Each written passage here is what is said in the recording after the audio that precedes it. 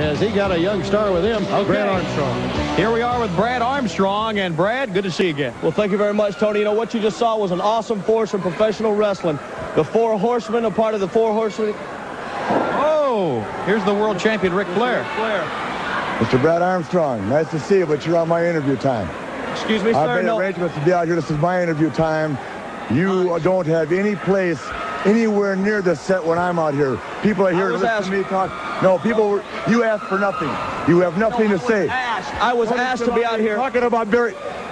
Off the set. listen, with all due respect, with all due respect, Off the set, Ric I told Flair, you. I was asked to be out here for this time. They told me to Off come set. out here for this time. Tony Schiavone.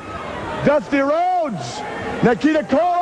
About sick of your Barry mouth, man. You can talk a whole lot, brother. If you want to get, if you want to get it on, BA's ready. I was brought up in a wrestling family. I can't stand out here and talk word for word with you, but I can get in that wrestling ring and go move for move You can't any day do of the week. anything with me. Tony take do it. Schiavone. Do it right now. You got Dusty Rhodes. right now. Nikita Koloff. Don't get in my face again. You are going to make an ultimate mistake. You are way too far in the youth of your career. All right.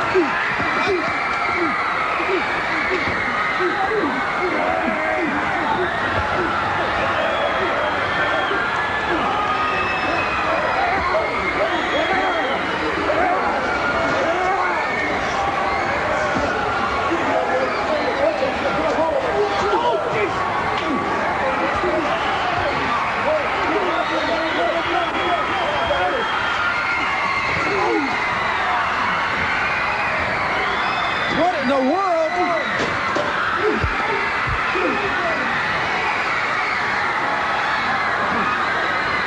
Okay, fans. Finally, some order restored, and once again, an attack by the Four Horsemen.